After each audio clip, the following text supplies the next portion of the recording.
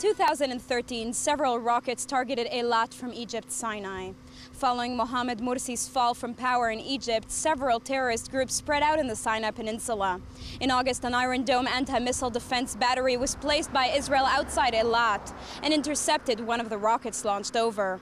Sirens went off that day, some panic was felt in the city, and though ultimately no one was hurt, there was some momentary concern. People were a little bit afraid, uh, especially the tourists, of course. Uh, the Israelis are already used to it. Of course, we uh, kind of guided them. They all came down to the reception. We, first of all, we explained them the situation and uh, we explained what they have to do. We go to the shelter. Actually, when the siren went off, uh, we sent everybody here. That's the shelter of the hotel. And um, everybody came down. They were very quiet, actually. There was no panic and no stress. They came down, they sat here for like 15, 20 minutes. Uh, we, of course, brought them, brought them some things uh, to drink and some drinks to eat uh, to keep everything calm. In the end, it became a little bit of uh, fun, uh, how weird it seems. Uh, the lobby started working very hard. The, the, alarm was about 12 o'clock in the night. Right after, people came to the lobby and started drinking and having pizzas, and everything was normal.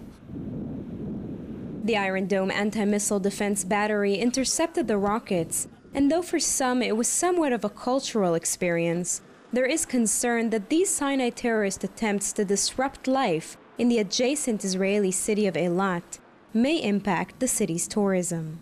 It takes five years to build a vacation destination and to put it back on the map.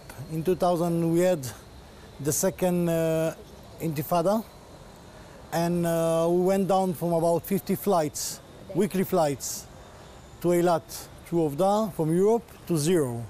2006, again, we had the second Lebanon war, and we got, went down to zero again. And in 2011, hopefully, we are starting back with this year about 24 flights. In the beginning, when uh, the first uh, rockets were launched, we felt a little bit. Uh, and we felt a little decrease in the tourism uh, movement in Eilat.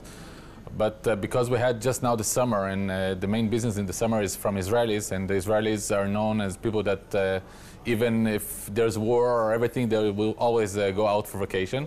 So we didn't really feel felt it. We are getting some phone uh, from uh, agent in overseas, checking, asking what is the situation, if it's quiet, if it's safe to come here. Despite the anxiety at the moment, it appears this vacation destination is up and running as usual and offers quite a lot to those who won't shy away due to threats from the Egyptian side of the border.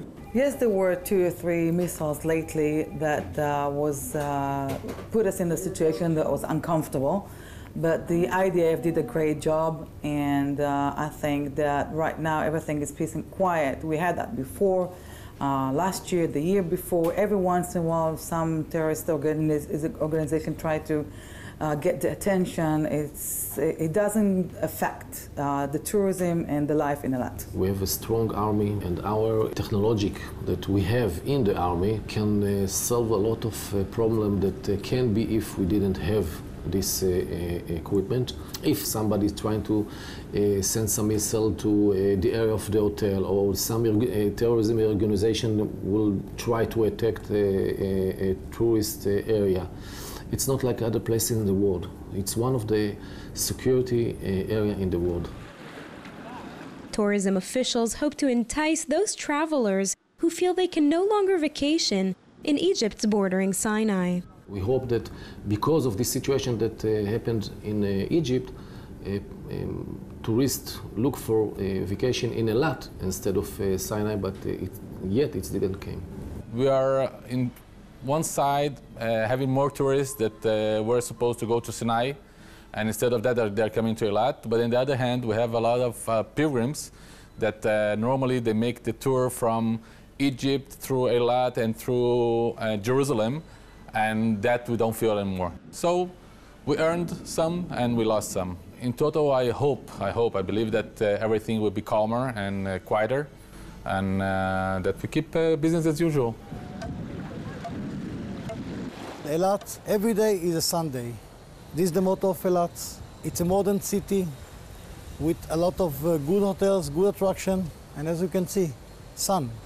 Everything here is very, very modern and very, very nice. I think everybody who comes to that uh, is um, surprised in the in the beginning, and uh, then we see more and more people coming back every year because they learn that Eilat is a nice place, it's safe, uh, and uh, it's worth coming back.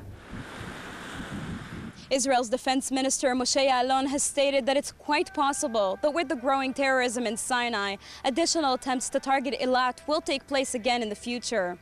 Even so, in August alone, about 280,000 visitors entered Israel, with 7,000 of them crossing in through this Taba border from Egypt into Eilat. For JN1, I'm Sivan Raviv, Eilat, Israel.